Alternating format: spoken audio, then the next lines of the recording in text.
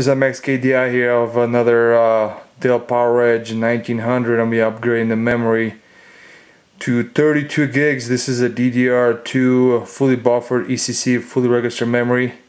So this guy we're gonna be upgrading total eight sticks, 32 gigs on a PowerEdge 1900. So let me get that moved. Okay, you're gonna remove the, the panel right here.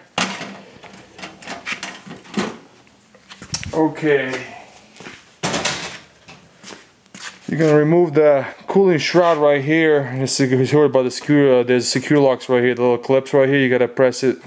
One over here, lit up like very gently. One right here, and one right here in the bottom right there, to release the fan shroud, cooling shroud. So.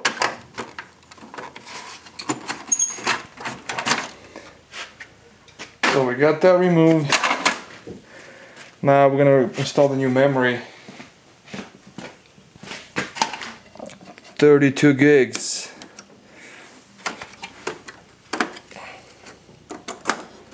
So I'm gonna remove that one. And I'm going 32 right now.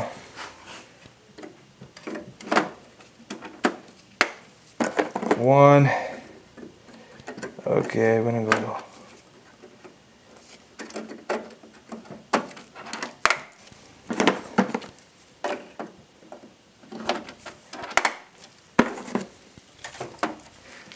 Okay.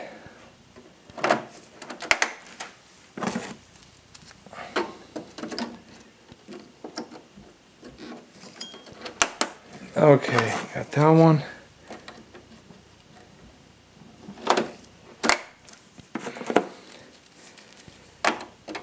And make sure they're match pair because if they're not probably not going to be the same one they may not work so I can't guarantee just you can get the memory online so okay, so we got 32 gigs installed memory. Now we're gonna connect the fan, the cooling shroud back, and it's gonna be right here. There's little, there's alignment right here. You can just try to align it back. So by secure clips here.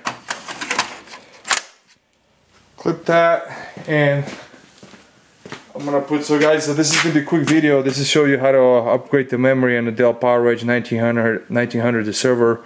Thanks for watching. Bye.